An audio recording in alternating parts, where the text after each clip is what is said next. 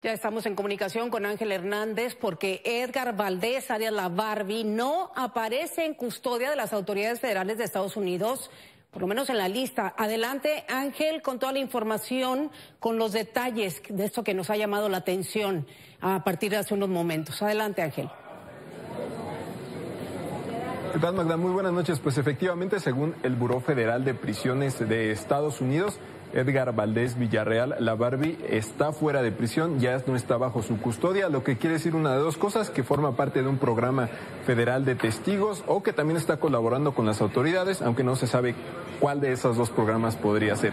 Es importante decir quién es la Barbie. La Barbie eh, fue sentenciado en 2018 a 49 años de prisión luego de que eh, se declarara culpable de tráfico de cocaína y lavado de dinero con el cártel de Sinaloa y el cártel de los Beltrán Leiva. Es importante también decirlo porque se esperaba que su salida de prisión fuera hasta 2056, por eso la sorpresa y el que se pueda manejar que esté colaborando con las autoridades o bajo un sistema de, de testigos protegidos, lo cual también le daría una ubicación ahí en Estados Unidos. No hay más detalles por parte de las autoridades.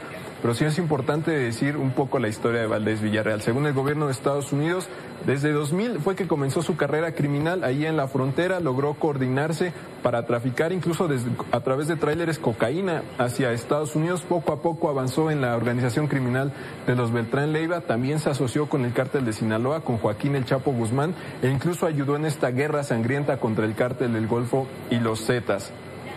Después de eso lo detienen en 2010 autoridades de la Secretaría de Seguridad Pública en México. Inicia el proceso de extradición desde Estados Unidos. En 2015 se logra y tres años después es que se logra sentenciarlo a, recordemos, 49 años de prisión. Hoy pues ya no está bajo la custodia de las autoridades penitenciarias federales de Estados Unidos.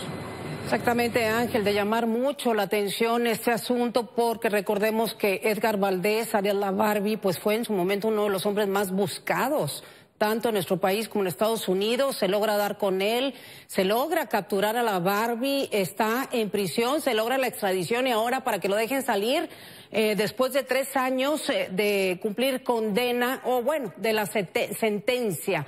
Pero pues vamos a esperar más información y a ver qué se puede saber y entender sobre esta situación, si efectivamente está colaborando con las autoridades y lo cual pues valga la pena haberlo liberado.